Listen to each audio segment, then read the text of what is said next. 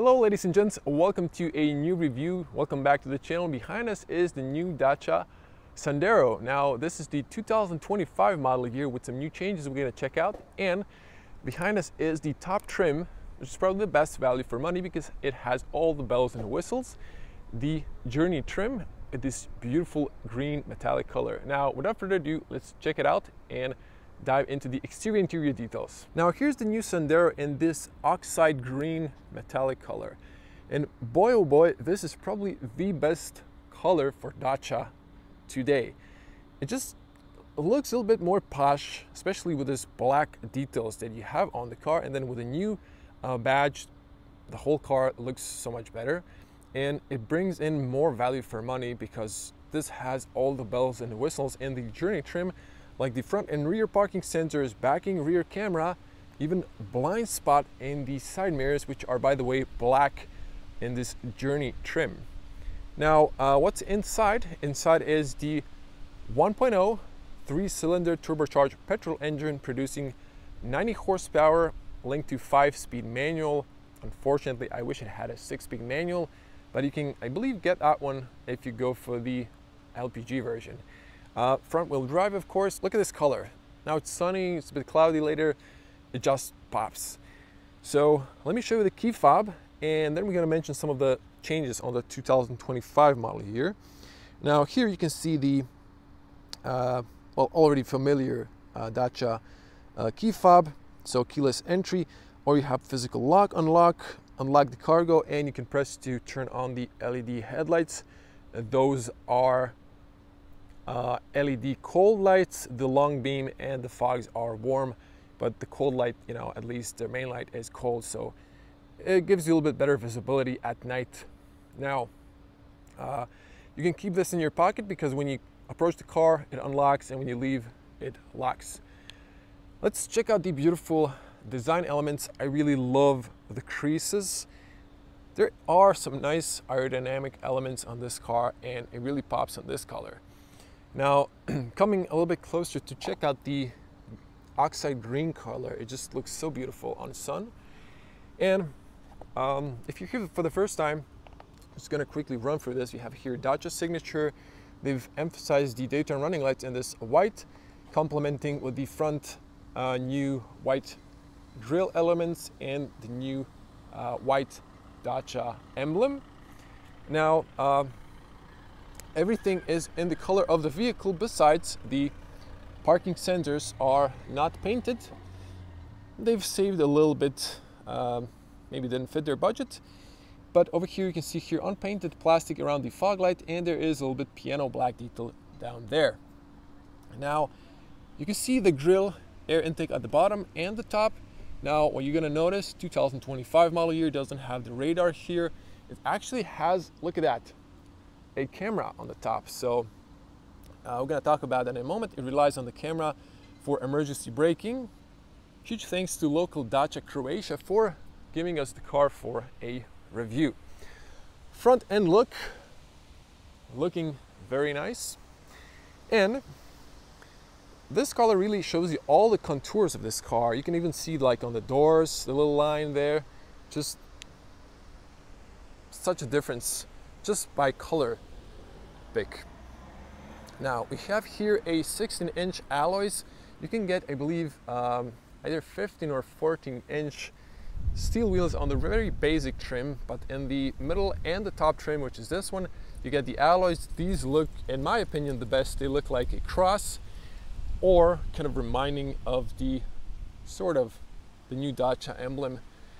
Now, 195 55 R16 and notice we have disc brakes on the front. On the rear I'm going to show you we have drum brakes because everything below 100 horsepower oh, there's a here here.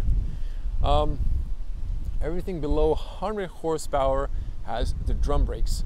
But uh, those last longer and trust me uh, they save you uh, money on maintenance in the long run. Now um, the wind is starting to pick up. Hopefully won't ruin the uh, audio. You can see the turn signals are emphasized in this kind of white, same as the front for better visibility. Now here you can see the metallic black side contrasting mirrors again in the Journey trim and here we have the blind spot as standard in the Journey trim. So that's why it's probably the best value for money. You can see uh, speakers in the top of the dash. There should be a light sensor right there. Now on the top you can see the rain sensor and you can see the uh, new camera. So again for emergency braking, lane assist, those are the new requirements for safety of course. And you can see the heaters inside so it's gonna defrost in the winter. There are nozzles here and there. So they have three of them altogether six. So for washing your windshield. And we have double laminated front windshield also better acoustics less noise coming inside the vehicle. Now uh, it's a bit cloudy so you can see the profile of the car and the color just pops. Let me come to the front because it looks so much better when it's a bit cloudy. Now it's again sun so you can uh, influence the weather black shark fin antenna complementing the black side mirrors. Unfortunately, no tinted windows in the back.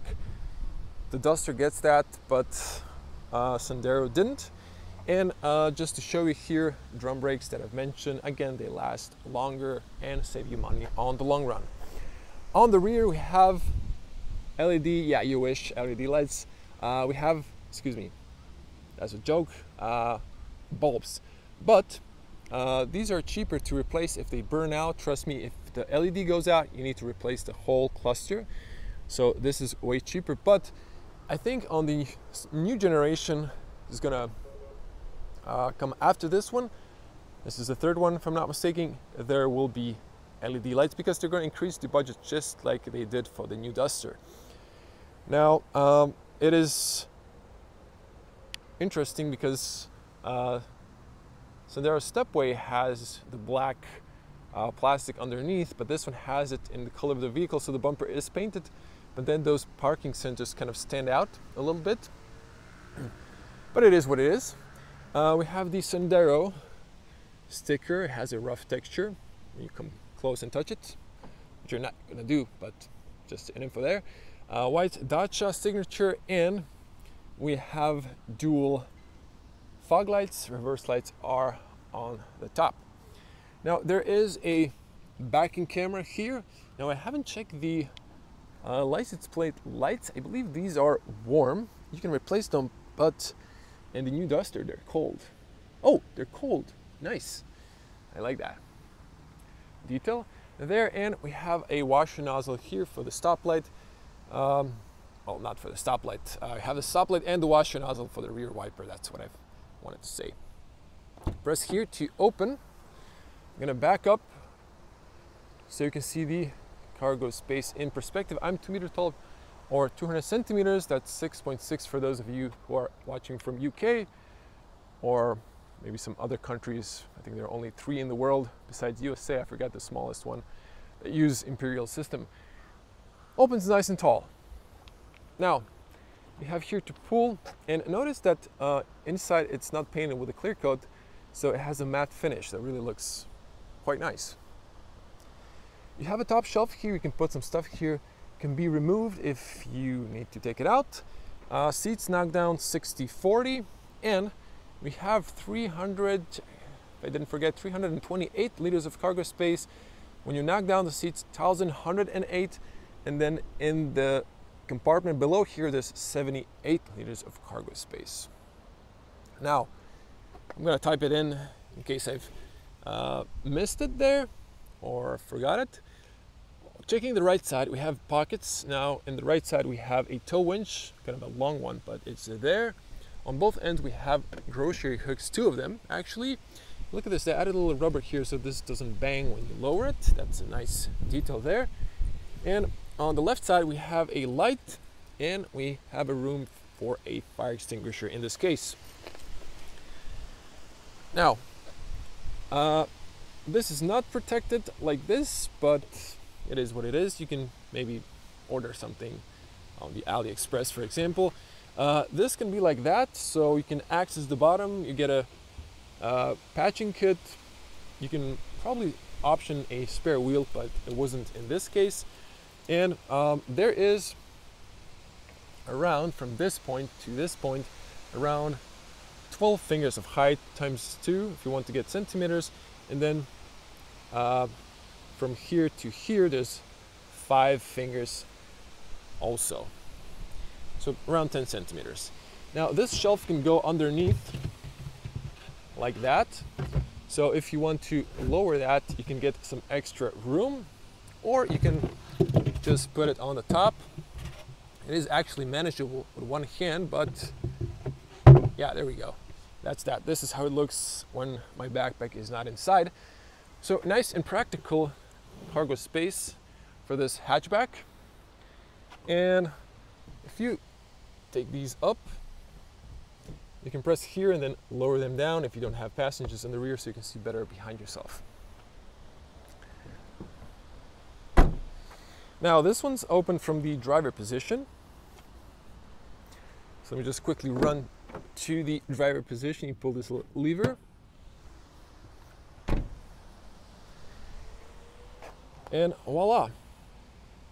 So recommended 95 run or 98. Of course, petrol. You can hang this little guy here when you're fueling. Look at this right now.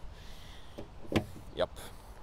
Now, I'm not sure about uh, Turkish market They've changed the um, Dacia Duster to a Renault Duster. So I'm not sure if they're going to change the Sandero as well.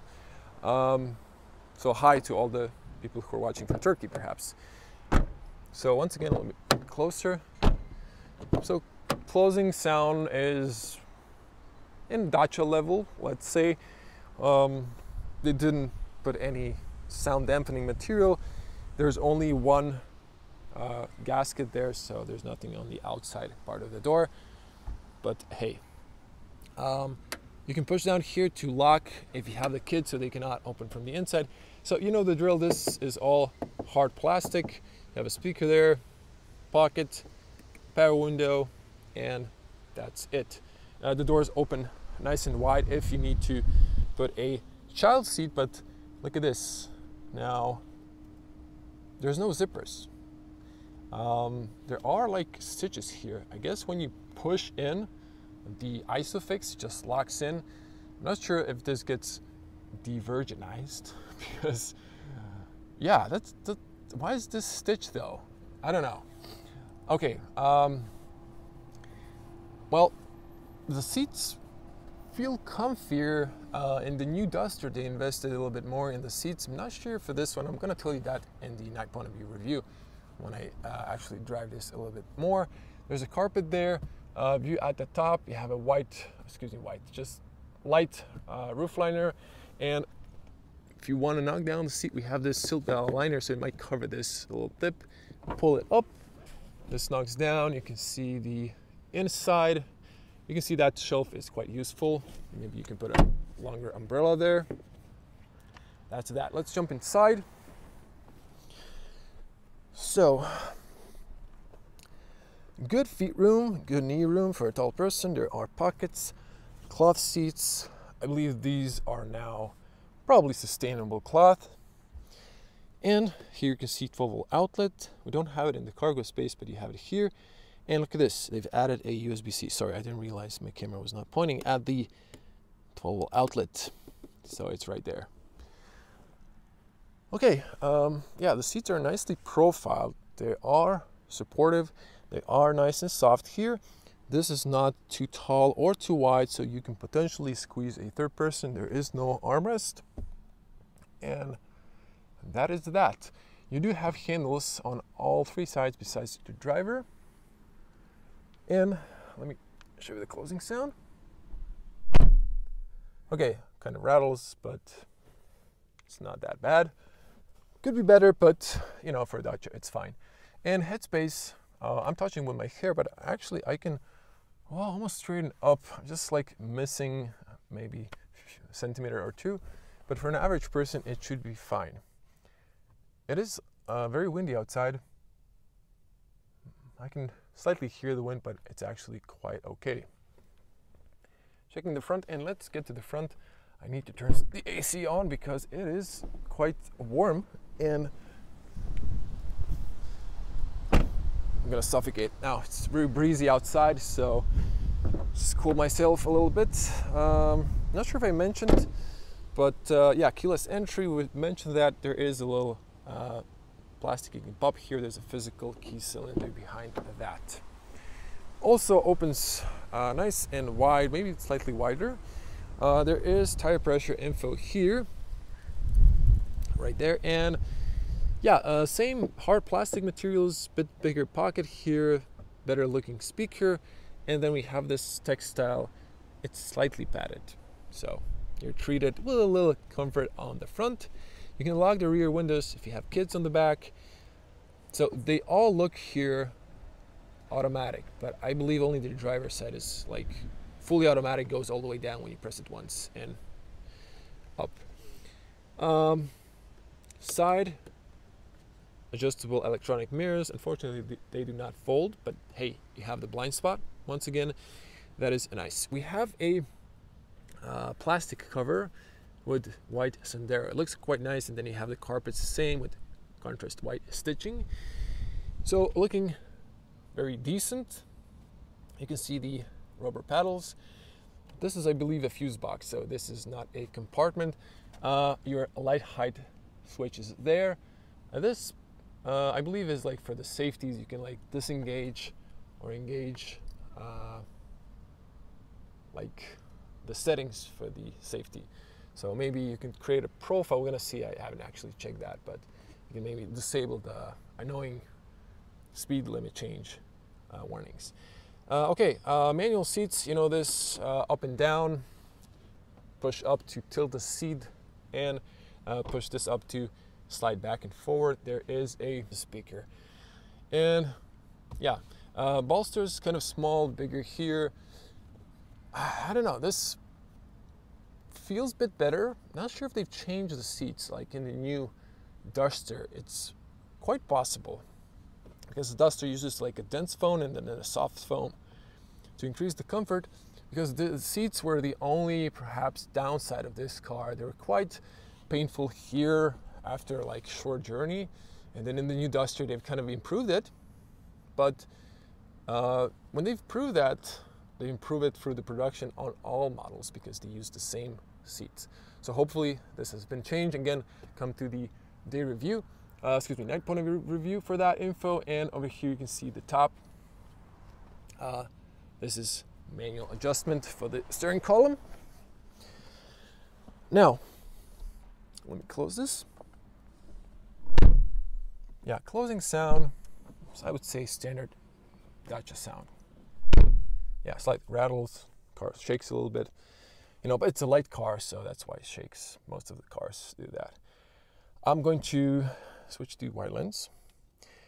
So you can see there will be a point of view driving, day point of view driving with no talking. And now I'm going to switch on the petrol. So let me just mute this sound for a moment. And blind spot alert on. Okay. Now let me just test if this is fully automatic. No, it's not. See this one? Yeah, like I said. Okay, now let's try to hear the petrol a little bit. I'm to lower this fan speed. Let me open the doors.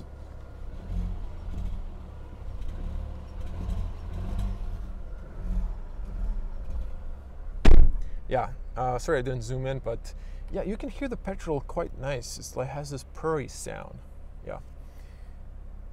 It's a nice uh, sound for the three cylinder.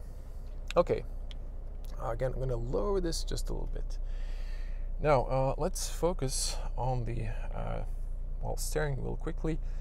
You all saw this new signature here. Uh, you have the cruise control settings, you have the uh, trip computer info here, and a digital speedo, voice commands, and uh, well, you can switch here to coolant. So use these arrows. Let me just come closer. So uh, this flashes when I back up a little bit, but in person it does not flash. So digital speedo, coolant, tire pressure, and that is that. And this one here have average, range, current consumption average. I haven't reset it. I haven't tested the car so far, so that's not my average, but it is what you're getting currently. Although the car was idling when I was filming the B-roll. So uh, come to a night review for more info. Uh, keep your lights on automatic. Don't drive like this at night. Everything is illuminated here, but your lights are not on. Very dangerous. Uh, you have the fog light control there and your wipers control there. Um, this is padded same as this. Uh, I like the fact this is white, matches uh, the textile. Then this is hard plastic. You already know that. Um, you have this one. You can change. This extend has rubberized here uh, holders so it doesn't scratch your phone. You have a USB A, and check this out. You have a USB C. Uh, you saw one on the back as well, so that is nice. And um, you all know these. So lock, hazards, auto start stop off, passenger airbag info, uh, and all the seatbelts is in there. You saw that.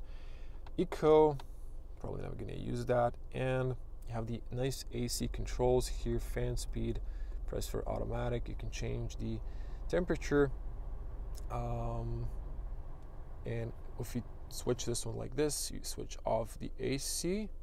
Uh, this is the AC button. You can turn it off, and it just recirculates the air. You can choose manually the air direction uh, and front rear defrost and closed air recirculation. So in the winter, you should open, uh, like now it's open, this is closed. So in the summer, when you want the air to get cooler faster, you turn this on. In the winter, you turn it on so the outside air comes inside so you don't get condensation on your front windshield. But you should be fine if you just press on the automatic. The car will do everything for you. Um, yeah. Okay, and uh, we have the start stop engine. And of course, you know this one. This is for source uh, modes, volume press, and phone calls and mute. Gonna come back to the infotainment. Just to wrap it here, we have a five-speed manual. It's a bit rough. The first gear is a bit rough to get in there, but uh, up for uh, reverse. Then you get the backing camera. It's a bit blurry, but serves its purpose. Again, I wish there was a six-speed manual. This is a five-speed manual, but it is what it is. You get a electronic parking brake, um, and there are two cup holders, different sizes. This is slightly padded. Uh, you have to press here to open it up. There's a little compartment for maybe some personal stuff. Uh, the seat here doesn't have the isofix, so only on the rear. I showed you that, and yeah, the seats feel slightly better. I think they've increased the the you know the sponging and the foam underneath. I'm looking forward if they did that. Okay, for the Croatian audience, spec sheet, and the uh, what we have here is 17,000 euros again for the journey trim, top trim, uh, starting price. You have here navigation, and uh, this includes the uh, USB-C, Apple and Android uh, connection, 400 euros, and then there is um, comfort package says here automatic parking brake. And um, yeah this armrest that includes uh, comfort package 390 euros and we have the oxide green metallic color 560 euros which i think it's worth it. It just looks great. It's not too expensive. So altogether including taxes in croatia which is 25% value added tax and there's a CO2 tax, uh, which is a bit higher, but uh, yeah, this car is Euro 7 if I'm not mistaken, so that should be okay. Uh, 18,350 is total price. Uh, then you have, you know, registration price uh, and technical. Actually, no, no technical for two years for the new cars, but you have the registration and that's it, plus insurance, of course. Um, yeah, um, going to come to the infotainment uh, and then I'm going to actually no let's just wrap this one up on the top. You have uh, the nice view behind you and then during the day this doesn't really show anything but actually actually it does. Look at this. Bright dark. You can still see behind yourself but it's darkened so that is that. And then since they added a camera here has a really long uh, angle. At the bottom they had to add this plastic. It's a bit of a blind spot for traffic lights otherwise not that bad but the a pillars are a bit obstructive as well. Light warm lights in the interior. Now there's only the light on the front nothing on the rear. You have the emergency call. This is a uh, temperature sensor and that's that. You have a little mic there for bluetooth calls documents holder and uh, privacy mirror. Now this does not extend but also covers almost everything so that's fine in my book that is that um, I haven't mentioned, but yeah, you have the classical gauges. Um, I don't think Sandero is going to be available as a hybrid. I haven't checked the spec, but uh, you don't get the digital cockpit. But then again, the new generation will definitely get the digital cockpit and the new infotainment from the Duster. Um, but that will raise the price a little bit. So, you know, uh, this is still a great value for money. I'm just going to run through the infotainment quickly. Um, let me show you the radio. Okay, let me see here. Um,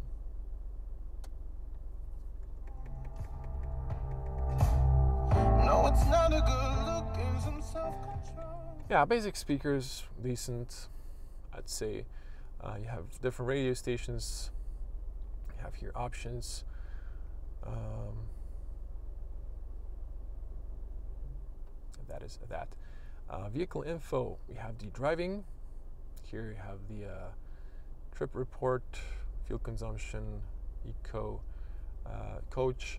You have the active braking,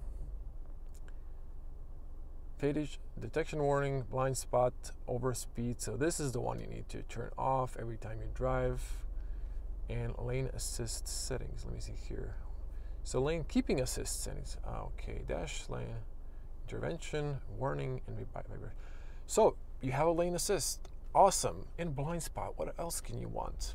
Wow, that's, see, just value for money. Access. You can see all of those. Pause and read. Park assist, rear view camera, obstacle detection.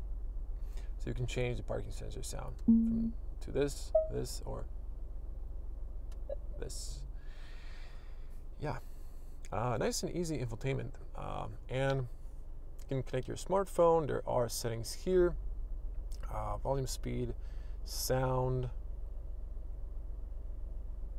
For all of those, there's like um, loudness.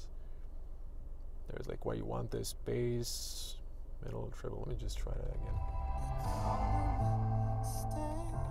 Yeah, sounds a bit better when you adjust uh, some stuff display options, there is a uh, day theme, but that's only if you get to the home menu, I believe.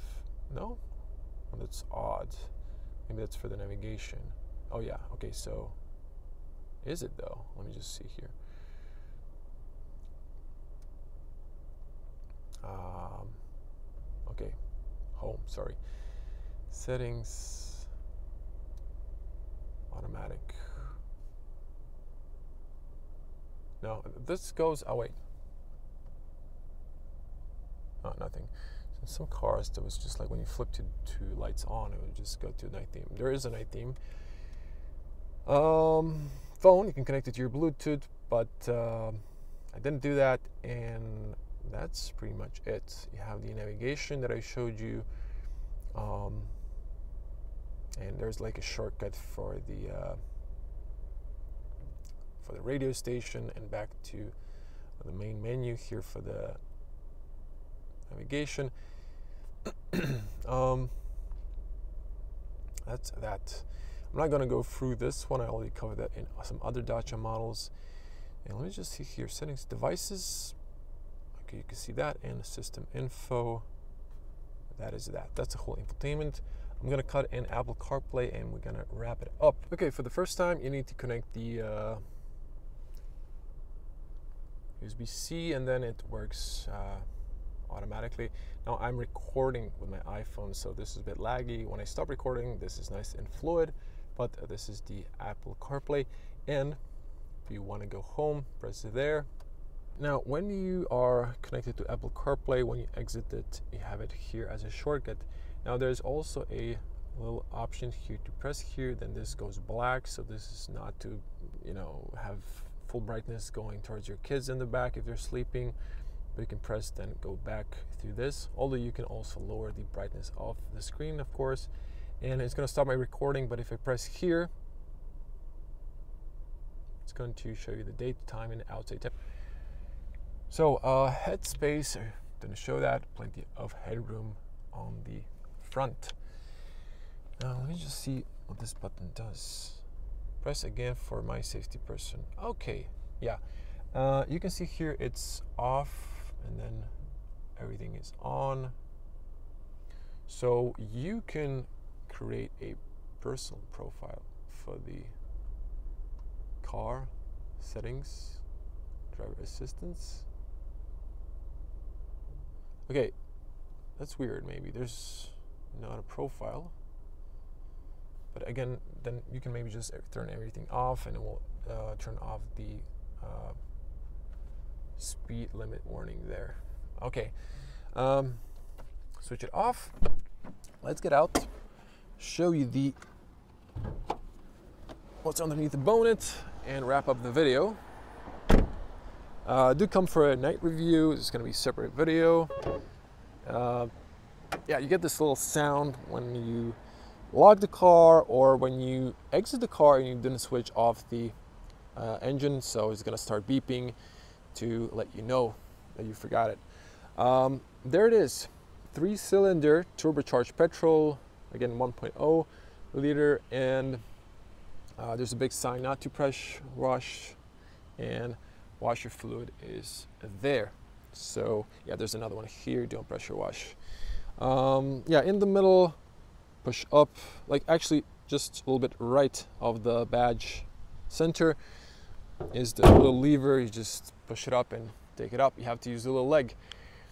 Again, great value for money, uh, beautiful looking in this green color, the new Sandero. Now, thank you for watching all the way to the end. I hope you liked this video and found it informative. If you did, please share it on Dacia forums because it might help other people who are looking at the car. Also, give this video a like, helps me with the algorithm, and type your comment in the comment section below. What do you think about the new Sandero? I think this is a great value for money when you look at the today's car prices because this is now very well equipped. And thank you all who have subscribed because we've passed 100,000 subscribers recently. And uh, thank you for the big support. Hope to see you in the next video. Stay safe. Until then, bye.